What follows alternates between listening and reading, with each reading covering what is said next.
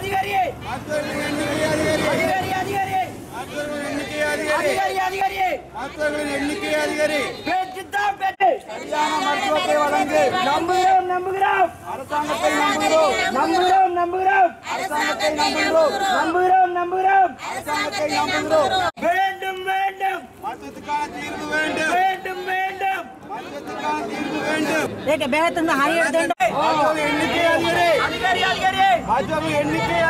வவுனியா ஹாஸ்பிட்டலுக்கு அனுப்புனீங்கன்னு அந்த தாயுடைய நிலைமை என்ன? தகப்பண்ட நிலைமை என்ன? இந்த பிள்ளைகள் ஓலவல் தம்பி எத்தனை படிக்கிறது ஏலவல் படிக்கிற படியன் ரெண்டு நாளைக்கு ஹாஸ்பிட்டலில் இருந்தால் இந்த அநியாயத்தை எங்க நாங்க யார்கிட்ட போய் சொல்றது? எங்களுக்கு நாங்க வேற ஒன்றும் கேட்கலையே. இவ்வளவு வளமா இருக்கக்கூடிய இந்த ஹாஸ்பிட்டல அதை உரிய முறையில இயங்க வைங்கன்னு சொல்றோம். காக்க வைக்காதீங்க. எவ்வளவு மருத்துவங்களுக்கு எவ்வளவு இது இருக்கு? ரெண்டு மணித்தியால நாங்க கத்துறோம் உங்களுக்கு வரையலாட்டி காலடியில வந்து நீங்க தேர்தல் கேக்குறீங்க வாக்கெடுக்கிறீங்க. அதிகாரிகள். இதுல இருக்கிற டிஎஸ்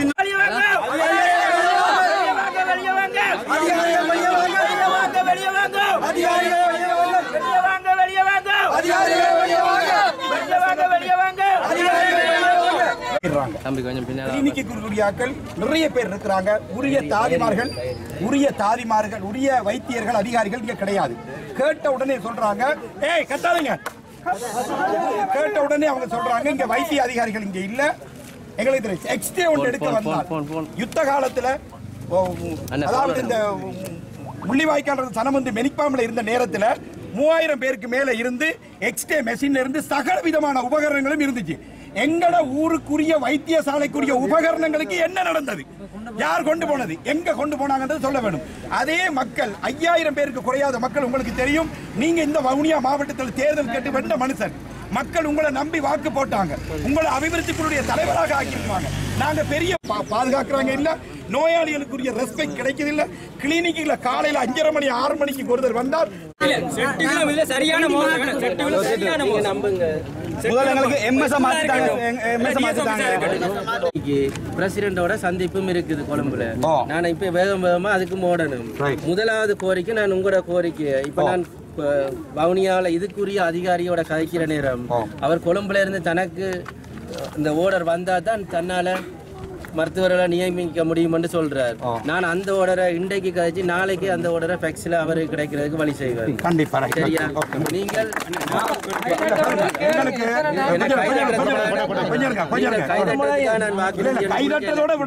சரி.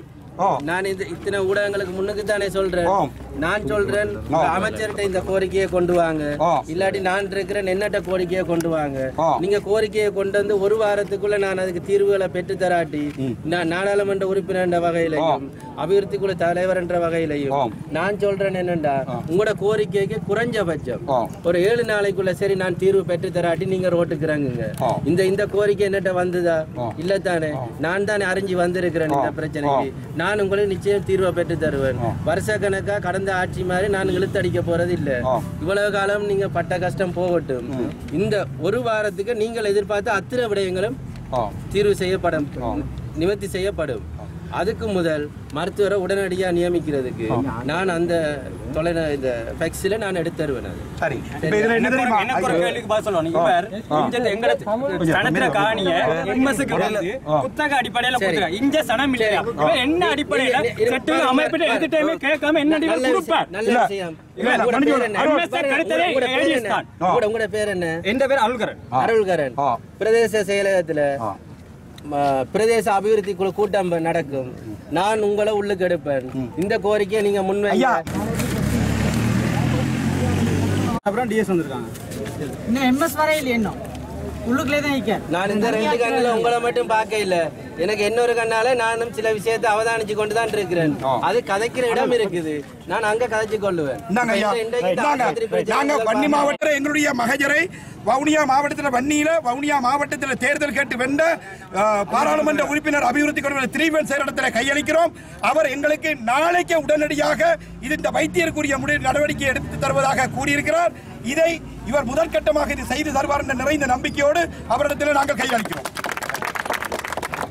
இந்த ஆர்ப்பாட்டத்தை நாங்கள் முன்னெடுத்ததுக்கான பிரதான நோக்கம் வந்து என்னன்னு சொன்னால் கடந்த வெள்ளிக்கிழமை இருபத்தெட்டாம் தேதி அன்று எங்களை பிரேசில் வாழக்கூடிய ரகுவரன் என்றவர் ஐம்பது வயது நிரம்பியவர் மாரடைப்பு காரணமாக இருந்தார் இதற்கான முக்கியமான காரணம் மருத்துவர்களோட மருத்துவர்களால் ஏற்பட்ட தவறு மூலமாக அவர் உயிரிழந்தார்ன்றதுக்காக தான் இந்த ஆர்ப்பாட்டத்தை நாங்கள் எடுத்து செல்றோம். அதுக்காக அதனால முக்கியமான நோக்கம் என்ன சொன்னால் செட்டிலம் ஆதார வைத்தியசாலை இந்த இந்த வைத்தியசாலை தான் இந்தியாவில் இருபத்தஞ்சு கிலோமீட்டர் போனால் தான் மதவாஜி வைத்தியசாலை இருக்குது. இந்தியாவில் முருங்கன் போனால் முப்பத்தஞ்சு கிலோமீட்டர். இதுக்கு இடைப்பட்ட தொண்ணூற்றி ரெண்டு கிராமங்களுக்கு உட்படுத்தான ஆதார வைத்தியசாலையாக செட்டிலம் பிரேசில் இந்த வைத்தியசாலை தான் காணப்படுது. ஆனால் இங்கே இருக்க வேண்டிய டாக்டர்ஸ் எண்ணிக்கை வந்து ரெண்டாக தான் காணப்படுது. மொத்தம் பன்னெண்டு காடர் இருக்க வேண்டிய இந்த வைத்தியசாலையில் மொத்தம் ரெண்டு வைத்தியர்கள் வந்து ச- வாட்டையும் இயக்க இல்லாம நோயாளுக்கான சரத்து சரியான மருத்துவத்தையும் கொடுக்க இல்லாம கொடுக்குற மருத்துவத்தையும் தவறாக கொடுத்து கொண்டிருக்கிறாங்க. இந்த வைத்தியசாலை இருக்க வேண்டிய வேண்டியது. டென்டல் சர்ஜன் ஒன்று இருக்கணும் எம்ஓ ஒன்று இருக்கணும் எம்ஓ மூன்று இருக்கணும் எஸ்ஹெச்ஓ அஞ்சு பேர் இருக்கணும் ஹெச்ஓ ஆறு ஆறு பேர் இருக்கணும். அதே நேரம் பீடியா சர்ஜன் ஒன்று இருக்கணும் சர்ஜன் ஒன்று இருக்கணும். ஆனால் எங்கள் வைத்தியசாலையில் வெறும் ரெண்டே வைத்தியர்களை வைத்துக்கொண்டு கொரோனா நேரத்தில் மூடப்பட்ட வ- நோயாளுக்கான விடுதி இன்று வரை திறக்கப்படவில்லை. ஆனால் இதுக்கு சின்ன ஒரு தலைகடி என்றாலும் வவுனியாவுக்கு அனுப்புறாங்க. எங்களோட மக்கள் சாதாரணமாக இதுக்கு எங்கட காணப்படுற மக்கள் வந்து மூக்க மூடினா வாயால் மூச்சு விட தெரியாத மக்களும் இருக்கிறாங்க. இந்த நேரத்தில் கூலி வேலை செய்கிற மக்கள் வவுனியாவுக்கு அனுப்பப்பட்டா பாதிக்கப்படுறது எங்களோட பொதுமக்கள் தான். அன்றாட கூலி பாதிக்கப்படுது அவைகளுக்கான வாழ்வாதாரம் பாதிக்கப்படுது அதே நேரம் இங்கே காணப்படுற எம்எஸ் என்றவர் எங்கட வ- எங்கட நோயாளிகளுக்கான தகுந்த மருத்துவத்தை கொடுக்குறதில்ல. டெவலப்மெண்ட் கமிட்டி என்று ஒன்று இருந்தது. அதையும் கலைச்சு போட்டு ஆம்புலன்ஸ் உட்பட அரசு வாகனங்களை அவரை சொந்த தனிப்பட்ட தேவைகளுக்காக பயன்படுத்தி கொண்டிருக்கிறார். அவருடைய அவருடைய வளவுக்கு முள்ளுக்கம்பி ஏற்றிக்கொண்டு அந்த ஆம்புலன்ஸ் செல்றதை நாங்கள் பார்த்து கொண்டிருக்கோம். அவசர ஊர்தி என்றது மக்களுக்காக சேவையை வழங்குவதற்காக காணப்படணும். ஆனால் இவர் வந்து தன் தனிப்பட்ட தேவைக்காக பயன்படுத்தி கொண்டிருக்கிறார். அதே நேரம் இங்கே சைன் வைக்கிற ஸ்டாஃப் வந்து அவருடைய வளவில் வேலை செஞ்சு கொண்டிருக்கிறாங்க. இப்படியான இப்படியான எந்த ஒரு விஷயமும் இனி எதிர்காலத்தில் நடக்கக்கூடாது. அதே நேரம் இங்கே வந்து மோச்சரி இருக்குது. அது ஆனால் மோச்சரிகளில் இருக்கப்படுற எக்யூப்மெண்ட்ஸும் இருக்குது. ஆனால் இங்கே வந்து எந்த போஸ்ட்மார்ட்டம் நடக்கப்படுறதில்லை போஸ்ட்மார்ட்டம் நடக்கினாலும் பவுனியாவுக்கு தான் அனுப்பப்படுது. இவ்வாறான பிரச்சனைகள் தீர்க்கப்பட வேண்டும். அதே நேரம் சனி ஞாயிறுல வந்து டாக்டர்ஸ் எட்டு நாற்பதுக்கு வராங்க ஒன்பது நாளுக்கு ஒன்பது நாற்பதுக்கு ஓபிடி மூடப்படுது. இப்படி நேரத்தில் பன்னெண்டு மணி வரைக்கும் திறக்கக்கூடிய ஓபிடி வந்து ஒன்பது நாற்பதுக்கு மூடுறதால எங்களை மக்கள் பாதிக்கப்படுறாங்க.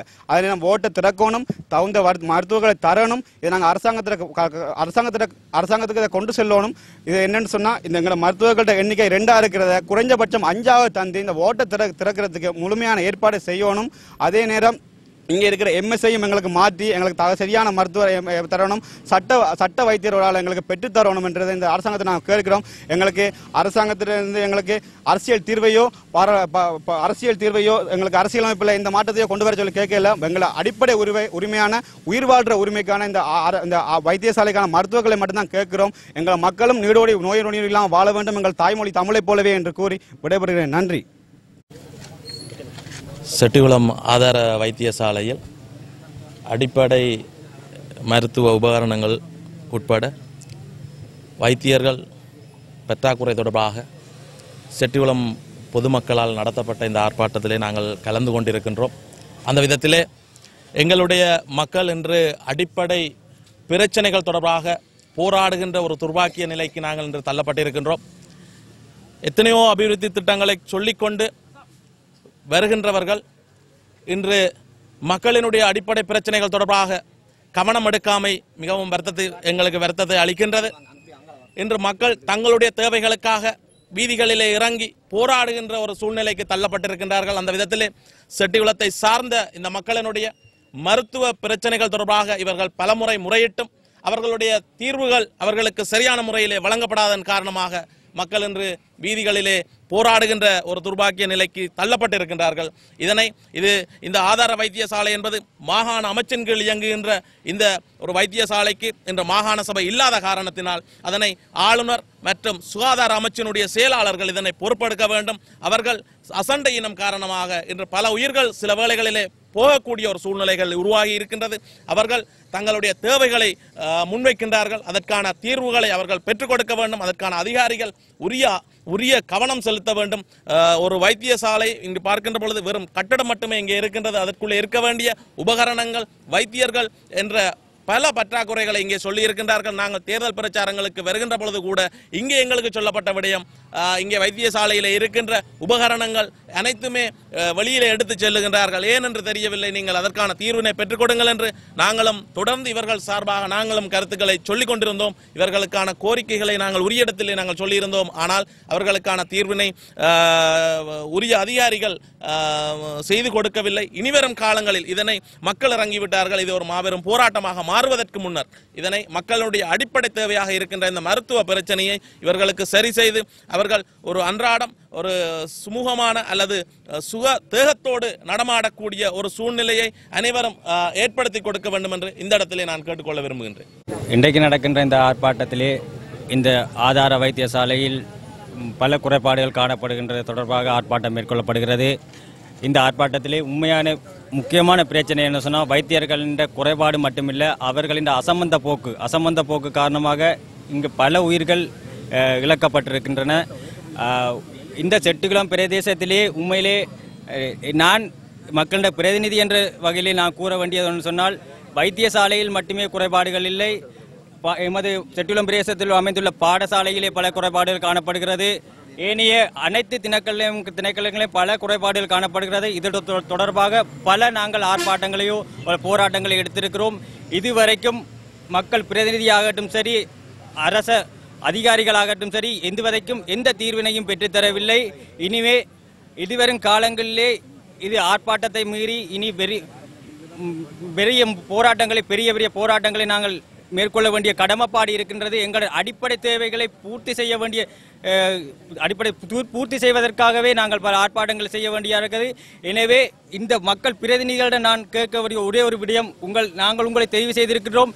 எங்களுக்குரிய அடிப்படை பிரச்சனைகளை முதலேயே முதலாவது செய்- என்பதை கேட்டு நன்றி வணக்கம். எந்த ஒரு வீட்டை எடுத்தாலும் பணம் பதவி பொருள் இல்லாட்டியும் குளுச இல்லாத வீடு இல்ல கிளினி கொப்பி இல்லாத வீடு இல்ல இப்படி நோயாளர்கள் கூடிக்கொண்டே போகுது. சுகதேகியல் குறைஞ்சு நோயாளர்கள் கூடிக்கொண்டிருக்கிறது. செட்டியுளத்தை பொறுத்த வரைக்கும் பெரிய ஆஸ்பத்திரி என்றது வவுனியா. அடுத்தது ரெண்டாம் இடத்துல இருக்கிறது செட்டியுள வைத்தியசாலை. அப்ப வவுனியாவுக்கு போய் வர்ற அளவுக்கு செட்டியுளத்தை பொறுத்த வரைக்கும் எல்லாருமே நாலில் மூன்று பங்கு மக்கள் கூலி வேலை செய்கின்றவர்கள்.